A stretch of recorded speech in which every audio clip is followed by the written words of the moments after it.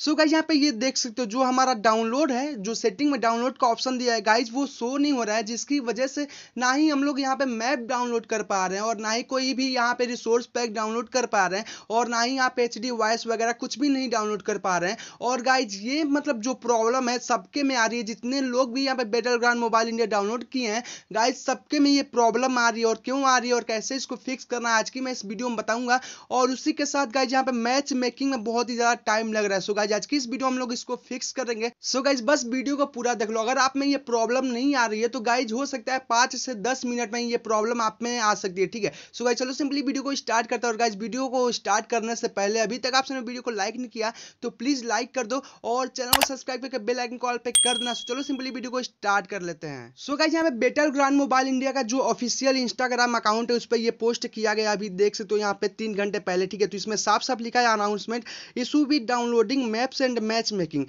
Dear Battleground Mobile India players, we have identified an issue where resources cannot be downloaded and matches except Erangel and arcade mode. We are currently trying to determine the cause of this problem and will announce you further if the problem is solved. We apologize for the inconvenience. ठीक है तो guys ये problem सबके में आ रही है जितने लोग भी Battle Ground Mobile India download किए हैं सबके में ये प्रॉब्लम आ रही है और गाइज़ इसको मतलब बेटर ग्रांड मोबाइल इंडिया के टीम ने इसको मतलब पकड़ लिया है और भाई बहुत ही जल्द इसको सॉल्व कर देंगे उनका ये भी कहना है कि रेंगल और आर्केड के अलावा लोग किसी में भी मैच मेकिंग नहीं कर पा रहे मतलब मैच में नहीं जा पा रहे हैं। तो गाइज़ इसको बहुत ही जल्द वो सब सॉल्व कर देंगे, बहुत ही जल्द सॉल्व कर देंगे। सो गाइज़ बस वेट करो जब तक वो सॉल्व नहीं कर रहे हैं, ठीक है? और गाइज़ और कोई इशू नहीं है, कोई भी वीपीएन लगाने की आवश्यकता नहीं अगर आप लोग वीपीएन लगाओगे तो भाई आईडी बैन होने का चांस है, ठीक है? सो गाइज़ बस वेट करो, बहुत ही जल्द वीजीएमआई टीम आपका ये प्रॉब्लम सॉल्व कर देगी, क्योंकि सब लोग इसी में लगे हुए हैं, ठीक है?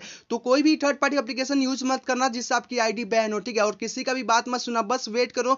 और भाई, जो इन्फॉर्मेशन देना था मैंने आपको दे दिया। तो गाइज़ बस ये आप सबको वीडियो में बताना था। आई आप सबको वीडियो पसंद आया हो। और पसंद आया तो प्लीज़ वीडियो को लाइक करना चैनल को सब्सक्राइब करके बेल आइकन कॉल पे कर देना, क्योंकि आपका एक लाइक मुझे बहुत ही ज़्यादा मतलब मोटिवेट करता है, ठीक है?